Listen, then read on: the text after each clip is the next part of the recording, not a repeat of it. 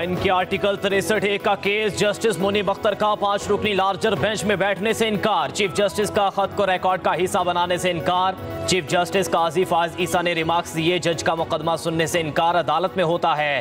कोशिश करेंगे justice Munib Akhtar bench में शामिल हों। जस्टिस मुनीब अख्तर की राय का एहतराम है। बेंच में आकर अपनी राय देते। मैंने इख्तलाफ राय की हमेशा हौसला अफजाई की है। नजरसानी केस दो साल से ज़्यादा अरसे से जेर अल्तवा है। तिरसठ का मुकदमा बड़ा अहम है। जस्टिस मुनीब अख्तर नहीं आते तो कल दोबारा कमेटी का इजलास बुलाएँगे। कमेटी के इजलास में किसी और जज को बेंच में शामिल करेंगे। चीफ जस्टिस ने कमरा अदालत में जस्टिस मुनीब अख्तर के खत की आखिरी सतूर पढ़ी। जस्टिस मुनीब अख्तर ने खत में लिखा, कमेटी पर एतराज़ की वजह से बेंच में नहीं बैठूँगा। केस सुनने से माजरत नहीं कर रहा, मगर कमेटी के बनाए गए मौजूदा बेंच का हिस्सा नहीं बन सकता। इलेक्शन ट्रिब्यूनल की तश्कील का लाहौर हाई कोर्ट का फैसला कलदम करार इलेक्शन कमीशन की अपील मंजूर। सुप्रीम कोर्ट ने इलेक्शन ट्रिब्यूनल केस का फैसला सुना दिया है। चीफ जस्टिस काजी फाइज ईसा ने मुख्तसर फैसला सुनाया। पाँच सिफर की अक्सरियत से फैसला सुनाया गया। सुप्रीम कोर्ट के फैसले में कहा गया, हाई कोर्ट के जज ने चीफ इलेक्शन कमिश्नर और चीफ जस्टिस की मुलाकात ना होना मद्देनजर नहीं रखा। अगर मुलाकात ना होना मद्देनजर रखते तो ऐसा फैसला ना किया जाता। तनाज़ा जब आइनी इदारे से मुतल हो तो मोहतात रवैया अपनाना चाहिए। लाहौर हाई कोर्ट का फैसला, बतौर अदालती नज़ीर किसी फॉरम पर पेश नहीं किया जा सकता। अदालत के तहरीरी फैसले में कहा गया कि इलेक्शन कमीशन आइनी इदारा है। हाई कोर्ट के चीफ जस्टिस आइनी दफ्तर का रखवाला है। दोनों फरीकैन में अगर बराह रास्त मुलाकात वकू पजीर होती तो मामला इस नहर पर ना पहुँचते। इलेक्शन कमीशन के मुताबिक चीफ जस्टिस के साथ इतफाक हो गया।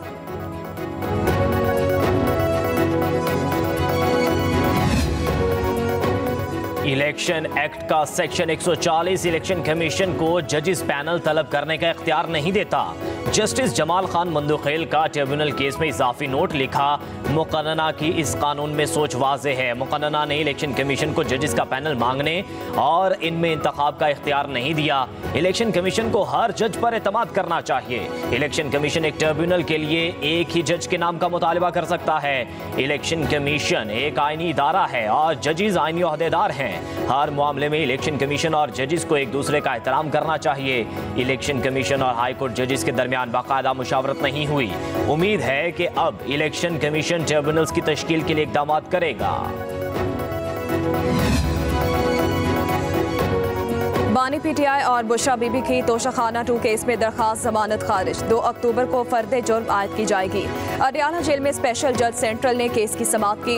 प्रोसिक्यूशन ने दलाल दिए। बानी पीटीआई ने रियासत को मिलने वाले तोहफे तोशाखाना में जमा कराए बगैर अपने पास रख लिए। सऊदी अरब से मिलने वाला सात करोड़ पंद्रह लाख मालियत का कीमती सेट उनतीस लाख में हासिल किया। बानी पीटीआई ने कीमती सेट की मार्केट कीमत अट्ठावन लाख रुपए लगवाई।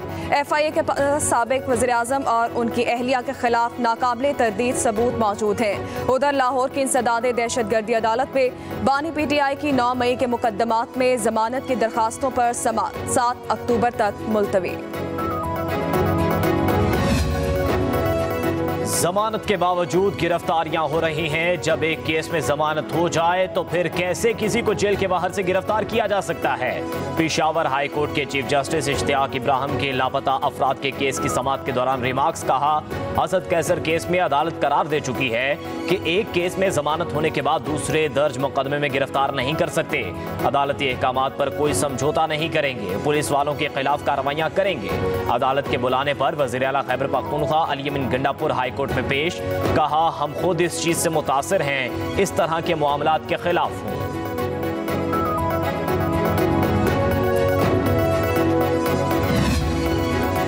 सबक deputy superintendent Adiala jail Mohammad Akram हमारी तहवील में नहीं है। सेक्टर दिफा और दाखिला का Lahore high court Rawalpindi bench में जवाब। जस्टिस चौधरी अब्दुल अज़ीज़ ने रिमार्क्स दिए, रावलपिंडी जेल का एक अफसर गायब है और किसी को कुछ मालूम नहीं। सेक्टर दिफा और सेक्टर दाखिला अपना बयान हल्फी जमा करवाएँ। अगर कल पता चला कि उनकी तहवील में है तो नताज भुगतना होंगे। हिदायत पर अमल दरामद ना हुआ। तो आई जी जे खाना जात को तलब करेंगे। वकील ईमान मजारी ने कहा, मोहम्मद अकरम की फैमिली से सरकारी रिहाइश का खाली करवा ली गई। जस्टिस चौधरी अब्दुल अज़ीज़ ने रिमार्क्स दिए, मोहम्मद अकरम वापस आ जाएँ या फिर फैमिली को सरकारी रिहाइश का मुंतकिल किया जाए। समा दो अक्टूबर तक मुलतवी।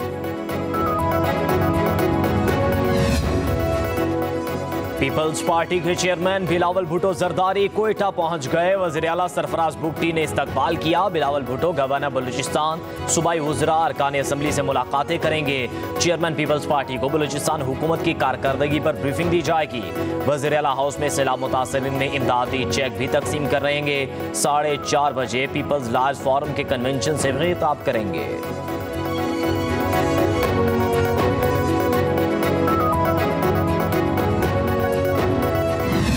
बलोच ये फ़ैसला ख़ुद कर ले कि आप एक तालीम याफ्ता, आप एक, जो बरसर रोज़गार है, ऐसी एक बच्ची को जो माशरे में अपना एक पॉजिटिव इनपुट दे रही है, उसको आप यहाँ से उठा के छूटे प्रोपेगेंडा के ज़रिए उसके दिमाग की कन्वर्जन करते हैं, फिर आप उनको एक्सट्रीम स्टेप पे लेके जाते हैं सुसाइडल कराते हैं। ये कैसे बलोचिस्तान की खिदमत है?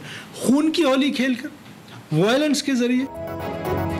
बलोचिस्तान में फौजी ऑपरेशन की ज़रूरत नहीं। बलोच नौजवानों को जंग में धकेलने की कोशिश की जा रही है। झूठे प्रोपेगेंडे से मासूम लोगों को बरगलाया जाता है। दहशत गर्दों ने सॉफ्ट टारगेट को निशाना बनाना शुरू कर दिया। हम बलोच तलबा को रियासत के खिलाफ इस्तेमाल नहीं होने देंगे। वजी अला बलोचिस्तान सरफराज बुकटी का कहना है कि तशद के ज़रिए बलोचिस्तान की खदमत कैसे होगी?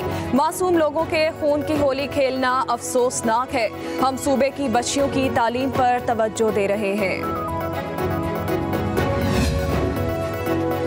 वज़ीर अजम शहबाज शरीफ का दौरा अमरीका मुकम्मल। आज रात लंदन से वतन वापस रवाना होंगे कल पाकिस्तान पहुँचेंगे। वज़ीर अजम ने अमरीका में जनरल असम्बली इजलास में पाकिस्तान की नुमाइंदगी की। लंदन में अपनी रिहाइश गाह पर भी कुछ दिन गुजारे। वज़ीर अजम ने विफाकी काबीना का इजलास कल तलब कर लिया। शहबाज शरीफ दौरा अमरीका के हवाले से ब्रीफिंग देंगे। मुल्क की सियासी सूरत हाल पर तबादला ख्याल भी किया जाएगा।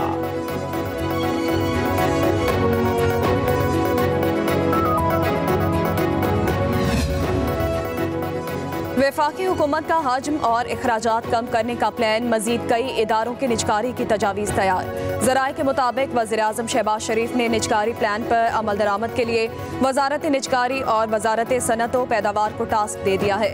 वजारत सनत व पैदावार के इदारे पाकिस्तान स्टोन डेवलपमेंट कंपनी और पाकिस्तान ऑटोमोबाइल कॉरपोरेशन की निजकारी करने के लिए निशानदेही।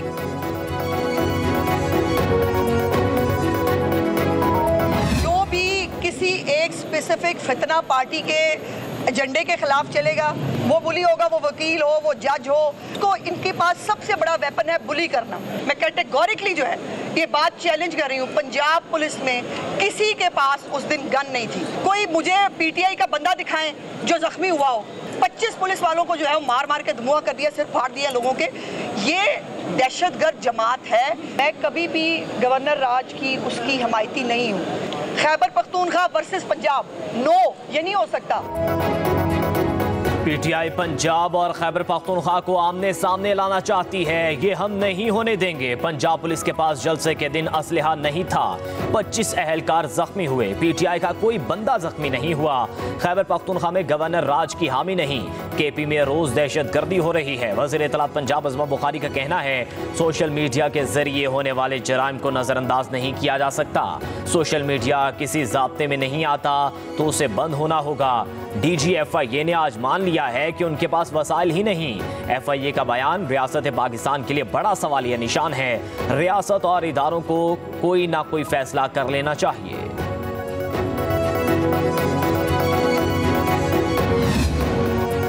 मुमताज़ इस्लामी स्कॉलर डॉक्टर जाकिर नायक इस्लामाबाद पहुँच गए एयरपोर्ट पर। एडिशनल सेक्रेटरी वजारत मजहबी अमूर सैयद डॉक्टर अताउर रहमान और पार्लिमानी सेक्रेटरी मजहबी अमूर शमशेर अली मजारी ने मोज़ मेहमान का इस्तकबाल किया। डॉक्टर जाकिर नायक हुकूमत पाकिस्तान की दावत पर इस्लामाबाद पहुँचे। कराची, लाहौर और इस्लामाबाद में मुख्तलिफ़ तकारीब से खिताब करेंगे। अहम मुल्की शख्सियात से मुलाकात भी करेंगे।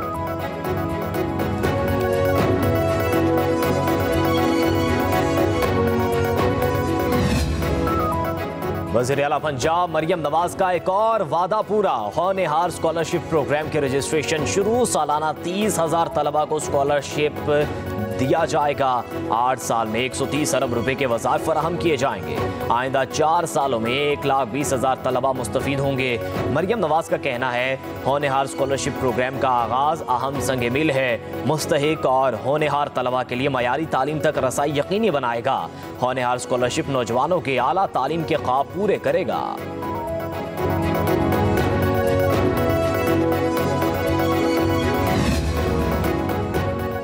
टैक्स रिटर्न फ़ाइल करने का आज आखिरी दिन। एफबीआर का टैक्स रिटर्न फ़ाइल करने की तारीख में तोसी ना करने का फैसला। तर्जुमान एफबीआर का कहना है, टैक्स रिटर्न फ़ाइल करने की तारीख में एक दिन की भी तोसी नहीं होगी।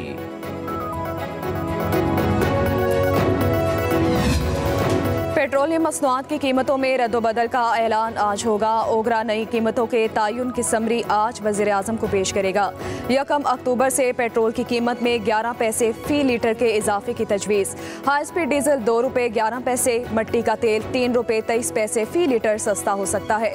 लाइट डीजल ऑयल की कीमत में भी फ़ी लीटर नवासी पैसे कमी की तजवीज़। वज़ीर अजम शहबाज शरीफ की मंजूरी के बाद नई कीमतों का नोटिफिकेशन जारी होगा।